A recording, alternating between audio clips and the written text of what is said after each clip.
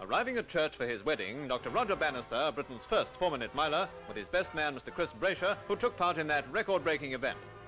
The bride was Miss Mora Jacobsson, a Swedish artist, looking radiant in a London-made gown of white lace over taffeta.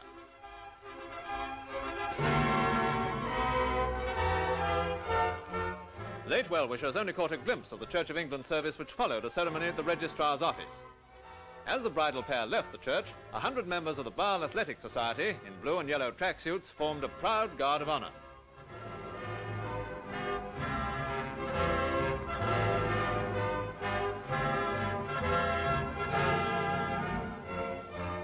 And it was a charming Swiss custom that provided the youngest guests with a generous supply of sweets from the hands of the bride and groom.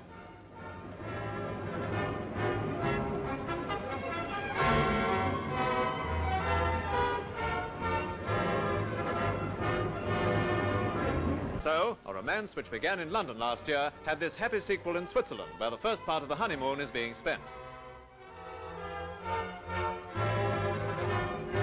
The most unexpected present of all was the CBE conferred upon Dr. Bannister for his outstanding services to athletics.